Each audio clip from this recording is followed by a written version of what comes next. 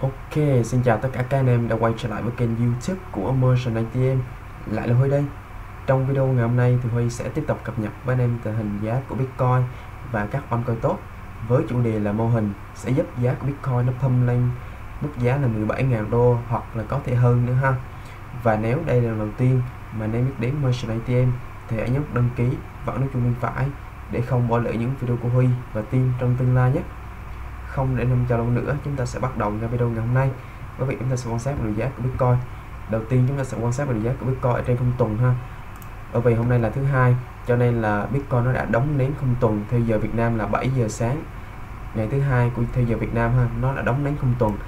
Và anh em thấy được Bitcoin nó đã đóng nến không tuần á, là một cái nến tăng một cái nến tăng. Và nó đã đóng nến không như mình kỳ vọng là nó đã đóng nến ở dưới cái mức giá cao nhất của tuần trước là cái râu nến trên của tuần trước này. Cho nên chứng tỏ là Bitcoin nó đã chưa nó chưa thực sự là nó uh, loại bỏ hoàn toàn cái vùng cung của tuần vừa rồi. Và có thể là hiện tại Bitcoin nó vẫn có còn có đà tăng nhưng mà nó không có còn mạnh. Và cái thể hiện qua là cái khối lượng volume của nó.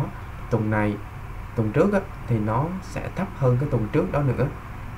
Và hiện tại thì Bitcoin nó đang uh, uh, chứng tỏ được một cái lực bullish rất là mạnh anh em anh em thấy được là hai đến 6 cây nến tuần là hiện tại là đang là tất cả là đang là cây nến xanh là cây nến tăng ha chứng tỏ là Bitcoin nó đang đi vào một cái kỳ tăng trưởng rất là tốt. Và khi mà Bitcoin nó đang thực hiện cái kỳ tăng trưởng rất là tốt này thì khả năng mà Bitcoin nó sẽ có một con sóng điều chỉnh.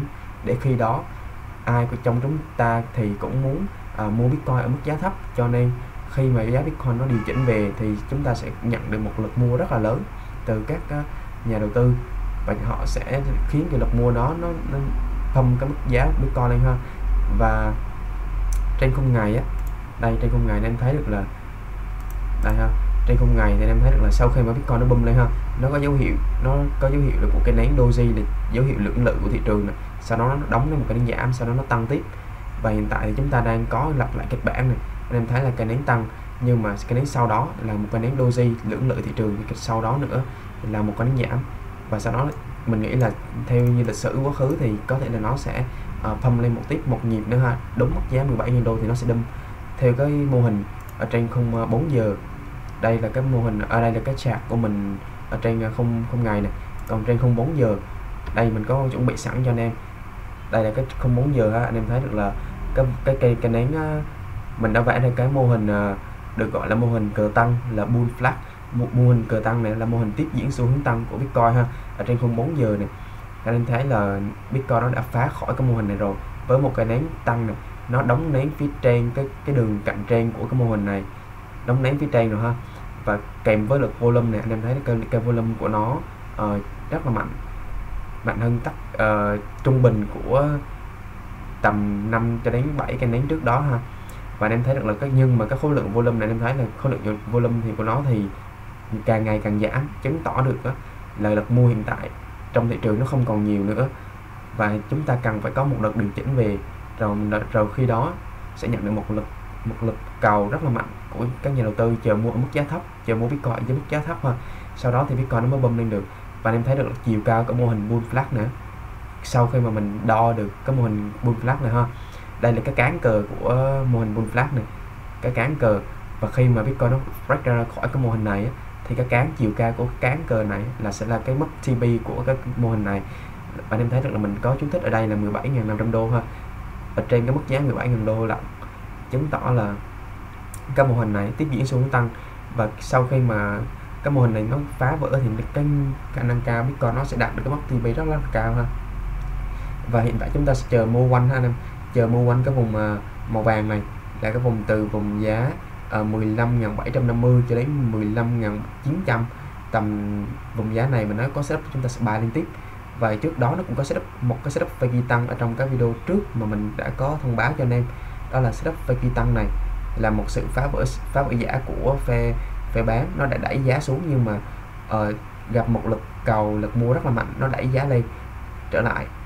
Hình thành nên cái setup Fakey tăng này là một sự phá vỡ giả và sau cái pha kỳ tăng này thì mình có kỳ vọng là Bitcoin nó sẽ tăng trong cái đợt sóng tiếp theo đó rất là cao. Và cái cái vùng này nó cũng hợp lưu này anh em thấy cái vùng mà mình để màu vàng này là cái vùng này cũng hợp lưu với cái chiều cao các cạnh các cạnh trên của cái mô hình tam giác tăng mà ở trong các số video trước mà mình đã có vẽ cho anh em. Nó hợp lưu ha, cho nên mình, chúng ta chờ mua ở cái vùng này nó khá là tốt. Ok, tiếp theo là cái ờ, cái chạc đến cái chạc của cái đồng Ethereum. Ethereum em thấy rằng là chúng ta có một cái xếp Fake tăng chúng ta lo theo cái xếp Fake tăng và cái và cái ờ, xu hướng của uh, Ethereum ở trên 04 giờ nó là xu hướng tăng. Cho nên chúng ta có được một setup Fake tăng chúng ta long lên nhưng mà cái setup này chúng ta đã bị dính stop loss ha. Và khi mà chúng ta sẽ dính stop loss á chúng ta sẽ coi lại cái market sentiment là cái bối cảnh thị trường ở ngay thời điểm hiện tại. Và em thấy rằng là cái cái vùng cái vùng đáy dẫn tới đỉnh cao nhất của Ethereum trên 04 giờ này là cái vùng này ha. Là cái vùng màu mình vẽ màu vàng này. Nó đã bị phá vỡ nó đã bị phá vỡ ở bởi cây nến đóng nến vào tối ngày hôm qua. Nó cây nến mà nó quét nó hit stop loss của chúng ta là cái nến đó là cây nến cái nến đó là cây nến phá vỡ khỏi cái uh, vùng chuyển giao xu hướng của Ethereum trên 04 giờ. Và cái nến đó nó đã chuyển từ chuyển Ethereum từ xu hướng tăng chuyển sang xu hướng giảm. Cho nên hiện tại chúng ta sẽ chờ chúng ta sẽ chờ bán chúng ta chờ short. Ethereum ở trên cái vùng kháng cự phía trên này là vùng ờ, tầm vùng giá là 456 cho đến 458 à. Còn nếu uh, ờ, Ethereum nó hồi lên cao hơn chúng ta sẽ có thể short ở cái vùng giá là 472 cho đến 476 ha. À. đây là cái vùng mà uh, đây nếu mà Ethereum nó phá vỡ khỏi cái vùng phía trên này luôn á thì cái xu hướng tăng nó mất cái thể là nó quay trở lại hay nên bởi vì là chúng ta có thể thấy là chúng Ethereum nó đang hình thành nên cái đỉnh sau này đỉnh sau này nó thấp hơn đỉnh trước. Và đáy sau hiện tại nó cũng thấp hơn đáy trước.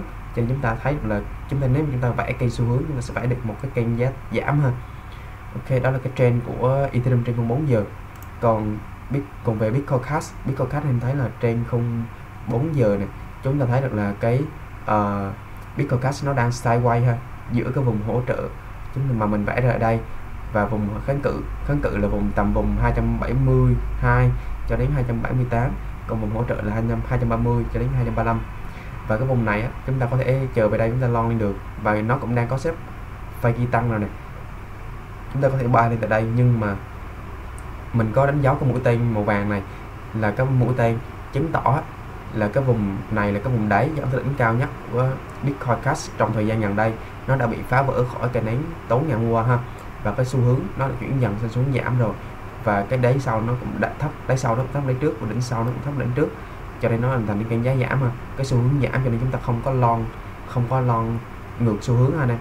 Ok và đó là cái cập nhật của mình ở trong uh, ngày 16 tháng 11 và anh em muốn tham gia với team mình ở trên telegram thì hãy search trên telegram cách là search a cộng merging atm anh em enter thì nó sẽ ra kênh channel của team mình trên đây sẽ có các cập nhật của mình và các admin khác về kiến thức cho anh em trade margin cũng như là uh, kiến thức trading về cho anh em. Và anh em ấn vào nút discuss hoặc là nút thảo luận anh nó sẽ đưa anh em vào cái group chat. Trên đây sẽ có các admin hướng dẫn anh em anh em vào channel vip ha. Channel vip sẽ có các cập nhật của mình và các lệnh của bot đây lệnh bot thì anh em thấy là bot TP 4 TP 5 là 100 cho đến 150 phần trăm rất là cao này anh em nhớ tham gia với team mình nhé. Và mọi cập nhật thì mình sẽ luôn cập nhật cho anh em ừ, sớm nhất ở trên cái channel vip này. Và anh em nhớ tham gia nhé. Ok. Và cái ờ, video của mình đến đây là kết thúc. Và xin cảm ơn tất cả các anh em đã theo dõi video của mình. Và hẹn gặp lại anh em ở các video tiếp theo.